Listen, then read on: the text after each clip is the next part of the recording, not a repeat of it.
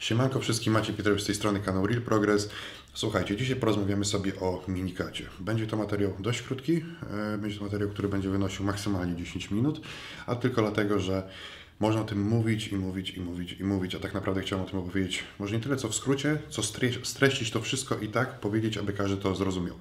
Czym jest minikat i kiedy warto stosować tego typu zabieg? Po pierwsze, pierwszą kwestią jest to, aby rozróżnić, czym jest minikat, a czym jest redukcja. Wiele osób myli to ze sobą i wiele osób myśli, że zaczynając po okresie masowym kręcić cardio, jedząc mniej, to od razu wszyscy myślą, e, że to jest e, typowa redukcja i lecimy do najbardziej suchej sylwetki, jak to jest możliwe i później będziemy odbijać w okres masowy. Słuchajcie, według mnie jest to rozwiązanie mm, nieodpowiednie, ewentualnie nie powinniśmy redukować do tego stopnia, mm, gdzie tak naprawdę e, nasz organizm będzie delikatnie już zmęczony, e, nasza kondycja, że tak powiem, fizyczna będzie na, na, na gorszym poziomie i nasz układ nerwowy będzie delikatnie mówiąc zajechany. Na pewno będzie to na minus dla naszej sylwetki, na minus oczywiście dla, dla przyszłego okresu masowego, a tylko i wyłącznie dlatego, że nasz organizm nie będzie reagował tak, jakbyśmy chcieli i na pewno pojawią się tutaj, że tak powiem, delikatne problemy w celu przyszłego progresu, więc nie jest to realne, aby zajechać pod korek po prostu, sorki, że tak mówię po swojemu, ale to będzie po prostu wtedy szczery ode mnie.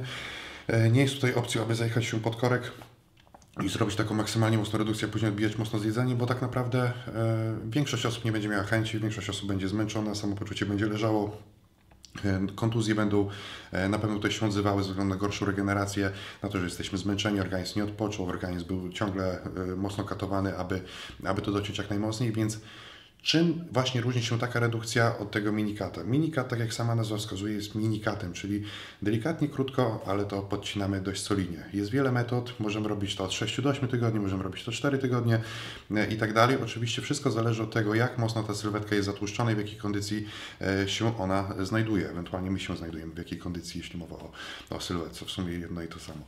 E, słuchajcie, według mnie opcja na minikata jest, znaczy jest to coś dobrego, coś dobrego tym bardziej dla osób, które, które tak naprawdę są osobami początkującymi, średnio zaawansowanymi, a to tylko dlatego, że wiele z tych osób popełnia problemy, popełnia problemy, popełnia błędy, które powodują, że mimo okresu masowego, który rzekomo jest zaplanowany i jest y, robiony odpowiednio, wiele osób podjada, wiele osób nie dociąga wielu rzeczy i później jest po prostu już nierealne w dalszym etapie budowania masy mięśniowej, aby dokładać te jedzenie i aby progresować. Często jest tak, że kiedy nagle sobie się spinamy, znam to po prostu z autopsji, spinamy się po 6-8 tygodniach, mówimy, dobra, już nie podjadamy, dobra, już się trzymamy wszystkiego, to delikatnie e, mówiąc, jest już troszkę za późno e, i wypadałoby to podciąć. To jest pierwsza opcja. Drugą opcją jest to, e, kiedy ciągniemy taki okres masowy już no, dość długi okres czasu, czyli na przykład 12 tygodni, 16 tygodni, 20 tygodni, w zależności wszystko od danej osoby. I wtedy dobrym momentem byłoby zastosowanie tego typu zabiegu, ale to tylko dlatego, aby po pierwsze delikatnie odpocząć, bo musimy odpocząć. Jeżeli ktoś mówi, że nie trzeba odpoczywać i robimy to po prostu, bo to kochamy i tym podobne, e, to gada bzdury, ewentualnie jeżeli tylko siłownią i ma coś nierówno pod sufitem. Każdy potrzebuje odpoczynku, nasz organizm też potrzebuje odpoczynku i powinniśmy naprawdę zwracać na to uwagę, bo jest to podstawa postaw. Nie będziemy się regenerować, nie będziemy progresować. Nie będzie regeneracji, będziemy mieć kontuzję. Naprawdę jest to wszystko bardzo ważne, a przede wszystkim ważne tutaj będzie zadbanie o jelita podczas takiej redukcji, mini redukcji, takiego minikata, ponieważ jeśli Tutaj lecieliśmy z jedzeniem dość grubo e, przez 6 tygodni, 8, 10, 12 itd., itd to nasze jelita, że tak powiem, nie są niezniszczalne i mimo jakiejkolwiek suplementacji, jakiejkolwiek pomocy z zewnątrz, ciężkie będzie e, do ogarnięcia to, aby one pracowały tak, jak powinny. Oczywiście, nie mówię, że tutaj muszą pojawić się jakieś problema, problemy e, związane z strawieniem, nie muszą pojawić się tutaj problemy związane z jakimś refluksem, z gagu, to są takie rzeczy, które często, e, często przytrafiały się dla wielu osób, natomiast mogą pojawić się problemy E, przede wszystkim z apetytem. E, często minikata robimy po to, aby ten apetyt poprawić, e, aby to sylwetkę oczywiście, powiedzmy to, uszczuplić, odchudzić delikatnie, tak to nazwijmy prosto, aby każdy to zrozumiał. I to będzie dobra podstawa, dobra podstawa i dobry, dobry moment, aby właśnie wykonać taki zabieg, czyli wtedy, kiedy już nie damy rady jeść, kiedy jesteśmy delikatnie zatłuszczeni, wtedy możemy takiego minikata zrobić. Jak takiego minikata zrobić? Czy, czy jest to możliwe? Bez robienia cardio, czy jest to możliwe, mm, aby zrobić to na dużej ilości jedzenia? I tutaj taka moja odpowiedź, że wszystko zależy od danej osoby. Słuchajcie, jeżeli pracujecie dużo fizycznie, jeżeli wasza aktywność jest na dość wysokim poziomie, a cardio przypuśćmy e, podczas okresu masowego kompletnie nie było, no to samo ucięcie kalorii może nam pomóc. Natomiast jeżeli ktoś ma tryb mocno siedzący, to według mnie, e, tak jak wiele osób mówi, że albo ucinamy jedzenie, albo dodajemy cardio, czyli możemy jeść dużo, ale musimy wtedy kręcić dużo cardio, ewentualnie możemy jeść mało i robić to bez cardio, bo będzie deficyt. Z jednej strony tak, z drugiej strony nigdy nie zauważyłem, aby ta redukcja postępowała u mnie czy u wielu moich podopiecznych wtedy, kiedy tej aktywności nie było i nie było tej aktywności przez dany okres czasu na danym tętnie, tak to nazwijmy, czyli mowa tutaj po prostu o, o cardio. E, ja cardio osobiście nienawidzę, nienawidzę robić aerobów, interwałów, jest to dla mnie męka, udręka i wolę tak naprawdę staczką jeździć pod górkę, aniżeli robić cardio yy, i pewnie jako cardio bym to podpisał. Yy, natomiast no, jest to czasami konieczne i widzę, że yy, no, sam po sobie, nawet jedząc 100 gramów węglowodanów czy 200 gramów węglowodanów tylko yy, przez krótki okres czasu, nie robiąc cardio, tak naprawdę sylwetka się nie poprawiała. Jedynie coś poprawiało to apetyt, natomiast sylwetka się nie poprawiało, nie poprawiała, nadal była jak była słaba z końcem masy, czyli z początkiem takiej małej redukcji, e, tak samo słaba zostawała e, później. Tak naprawdę dopiero po czasie sobie tak stwierdzałem, że szkoda, że nie, nie tego tematu na poważnie, tylko po prostu głodowałem się, głodziłem się, a, tej, a tego cardio nie robiłem, no bo tak naprawdę według mnie, według mnie, dla mnie osobiście e, jest łatwiejsze e, zagłodzenie się, mogę jeść nawet liść sałaty, jeżeli będzie trzeba oczywiście i nie robić cardio, aniżeli jeść trochę więcej te cardio robić. Naprawdę nie cierpię tego, ale robię, e, więc według mnie bez cardio możemy zrobić takiego minikata, minikata ale oczywiście kiedy ta nasza aktywność jest naprawdę na wysokim poziomie. Teraz oczywiście już jak mówiąc o wysokiej aktywności, to widzę swoje maile i tak dalej. Maciek, ja robię 10 tysięcy kroków, 15 tysięcy kroków, 20 tysięcy kroków i to już jest taka aktywność, że tego cardio robić nie trzeba. To skoro tak naprawdę przy 15 tysiącach czy 20 tysiącach kroków jesteś w stanie budować, e, to dlaczego później nie możemy zostać z tym jedzeniem, przypuśćmy, nadal na wysokim poziomie, delikatnie mniejszym, czyli już można powiedzieć, tym jedzeniem delikatnie pogłębimy deficyt i dołożyć trochę aktywności. Wiecie co, ja zauważyłem, że czy, gdziekolwiek nie pracowałem, jak wiele aktywności nie miałem, ja czasami mam aktywność na poziomie 2000 kroków, czasami mam aktywność na poziomie 10 tysięcy kroków, czasami na poziomie 20 tysięcy kroków, Zawsze te cardio u mnie jest. To jest taka podstawa. Musimy sobie wrzucić to, e, wbić sobie to do głowy, że e, robienie aerobów i tak dalej u niektórych osób, nie mówię, że u wszystkich oczywiście, bo są osoby, które bez tego cardio dotkną, tylko są to osoby naprawdę, po pierwsze, łatwo redukujące i po drugie, osoby, które naprawdę mają dużo tej aktywności.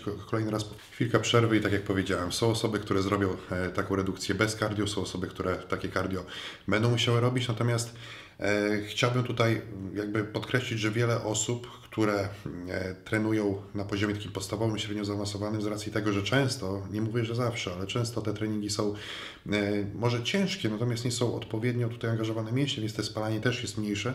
Możemy powiedzieć, że takie cardio oczywiście będzie jak najbardziej o plus. E, jak będzie jak najbardziej na plus. Więc minikat według mnie bez cardio można to zrobić, natomiast czy jest sens? Jeżeli chcemy zrobić taką redukcję dość szybko, to według mnie dorzucenie takiej aktywności będzie jak najbardziej w porządku. E, pomoże nam to zaoszczędzić wiele czasu, pozwoli nam dalej tutaj progresować już po 6, 8, 4 u niektórych tygodniach, więc według mnie jest to Rozwiązanie naprawdę bardzo dobre, ale teraz kwestia, e, kwestia jedzenia. Jak powinniśmy tutaj podchodzić do diety podczas takiego minikata oraz jak powinniśmy podchodzić tutaj w niektórych przypadkach do środków oczywiście. Według mnie minika, zacznijmy od drugiej e, kwestii. Minikat to jest taki okres, kiedy tych środków nie powinniśmy nadużywać, ponieważ jest to po prostu mm, zejście z okresu masowego, gdzie ta nadwyżka była dość wysoka. Już samo obcięcie kalorii, samo dołożenie cardio będzie powodowało, że ta redukcja nastąpi, że będziemy tutaj poprawiać, że ta sylwetka będzie się poprawiała, że będzie coraz bardziej wyraźna. Więc po co tak naprawdę e, dodawać coś jeszcze, skoro już bardziej się nie rozpędzimy? Rozumiecie, tak jak nie wiem, samochód jedzie 200 na godzinę, jedziemy pod górkę, czyli masa, zjeżdżamy z górki do 200, no i czego nie zrobimy, to już on więcej nie przyspieszy, jeżeli on ma, przypuśćmy, e, blokadę e, na, na 200 na godzinę. I tak samo dokładając spalacze i tym podobne, na pewno nie przyspieszymy tego. Wiele osób na pewno od razu pomyśli sobie, że T3 może wlecieć, klembuterol może wlecieć, jochimbina i tak dalej. Może, ale nie musi, bo naprawdę nie pomoże to w niczym, a ewentualnie tylko tutaj mocno wpłynie na układ nerwowy i będziemy bardziej zmęczeni, gdzie podczas takiego minikata po prostu zmęczenie odczuwać nie powinniśmy, ponieważ e, nie dochodzimy do skrajnie niskiego poziomu e, odtłuszczenia, więc według mnie jest to zbędne. E, natomiast jeśli mowa tutaj o, o środkach dalej, czy coś zmieniamy ze środkami? Również nie. Również nie zmieniamy. Jeżeli planujemy redukcję dłuższą, ok, możemy wprowadzać zmiany, ale też nie od razu. Natomiast e, jeżeli robimy taką redukcję dość krótką, środki mogą zostać te same, w zależności również też od przypadku. Natomiast w większości przypadków nie ma, nie ma tutaj sensu, aby te środki zmieniać, więc według mnie może zostać tak, jak zostało. Ewentualnie manipulujemy, manipulujemy tylko i wyłącznie aktywnością, jedzeniem e, i ewentualnie treningiem. E, to to, e, jeśli mowa o diecie, jak, w jaki sposób powinniśmy podejść do diety? Przypuśćmy, mieliśmy osobę, która kończyła okres masowy na 800 gramach węglowodanów e, i nie robiła cardio. Oczywiście, możemy tutaj teraz, mając te 800 gramów węglowodanów, z racji tego, że jest to duża nadwyżka, delikatnie te węglowodany uciąć, przypuśćmy mm, o jakieś 20% nawet i dołożyć delikatnie aktywność. Od razu zacznie z nas lecieć. Jestem święcie przekonany. Oczywiście, jeżeli nie jesteśmy z jakąś wielką samarą, to na pewno będzie się to poprawiało. Natomiast później Fajnie byłoby tutaj e, nie ucinać tego jedzenia zbyt mocno, tylko dlatego, aby zachować ten performance treningowy, tak? Chcielibyśmy nadal mieć siłę na treningu, chcielibyśmy się nadal regenerować, chcielibyśmy nawet nadal, aby ta sylwetka nasza była pełna, więc po co od razu ucinać to jedzenie? Wiele osób od razu to jedzenie ucina, jak najmniej żarcia, szybki minikat i tak dalej, a ta redukcja wtedy staje. To po pierwsze, po drugie, leci z nas e, mięsień, tylko dlatego, że nie mamy siły na treningu, słabo się regenerujemy e, i później okazuje się po takim minikacie, że straciliśmy nie 5 kg, a straciliśmy kilogramów 10, 12 czy 15 e, i wszystko poszło, mm, jak to ładnie się mówi, poszło e, w las. Tak to się chyba mówi ładnie. E, tak, poszło w las. Rozkojarzyłem się, rozkojarzyłem się. Często, często się rozkojarzam, jak chcę powiedzieć kulturalnie, a normalnie powiedział inaczej. Więc e, tak, tutaj takie dosadne zdanie ode mnie.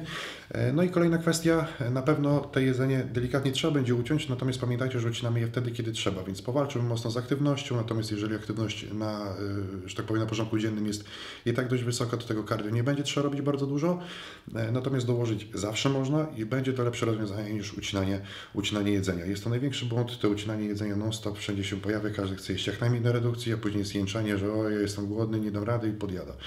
E, wszystkiego musimy się nauczyć, wszystko to jest psychika, a ten sport to jest psychika razy 10, naprawdę. A kolejna kwestia to jest e, spojrzenie na siebie trzeźwym okiem.